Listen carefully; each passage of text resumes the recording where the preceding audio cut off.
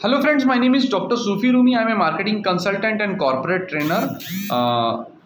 Brand exposure के बारे में आज मैं बात करता हूँ ब्रांड एक्सपोजर का मतलब होता है मेडिकल रिप्रेजेंटेटिव जब डॉक्टर के पास जाता है तो कोशिश करता है मैं एक या दो ब्रांड बताऊँ नहीं, कम से कम फोर फाइव बताना है फोर फाइव ब्रांड्स बताना मेरे लिए बहुत ज़रूरी है क्यों ज़रूरी है बिकॉज़ कभी कभी डॉक्टर को ऐसा लगता है कि दो ब्रांड हम उसको कंटिन्यूसली बताते रहते हैं डॉक्टर को लगता है कि इसके पास ये ब्रांड तो है जब कभी मौका लगता है if I get an opportunity जब मैं और नया ब्रांड बता दो डॉक्टर है, ये नया ब्रांड है क्या? नहीं, एक सभी से रिक्वेस्ट करूँगा मैं कि please four five six brand बताइए डॉक्टर के पास जाके बिकॉज़ सभी का यूसेज अलग अलग है.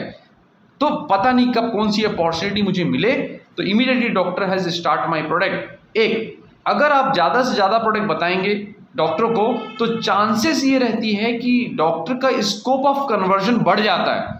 और वॉल्यूम भी हमें अच्छा मिलता है रिटर्न ऑफ़ इन्वेस्टमेंट भी हमें अच्छा मिलता है। सो so, सभी अपने ब्रांड एक्सपोजर पे काम करेंगे। कम से कम डॉक्टर को फोर फाइव सिक्स ब्रांड बताएँगे उसकी यूसेज के साथ। और बताना कैसा है? आईसीयू मॉडल पे बात करनी है। क्या आईसीयू मॉडल है? ब्रांड नेम का इंडिकेशन कंटेंट कंपोजिशन और यूएसपी मेरे ब्रांड में ऐसा क्या है जो बाकियों के ब्रांड में नहीं है? सो ब्रांड एक्सपोजर उसको आईसीयू में कन्वर्ट करें।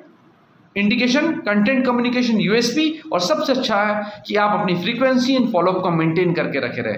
तो ये सारी चीज़ें आपके लिए, आपके ब्रांड के लिए काफ़ी यूजफुल रहेगी। I am sure that would be useful for you for improve your PCPM अगर मेरा वीडियो पसंद आए तो लाइक करें कमेंट करें शेयर करें और सूफी रूमी को सब्सक्राइब करना ना भूलें। Thank you very much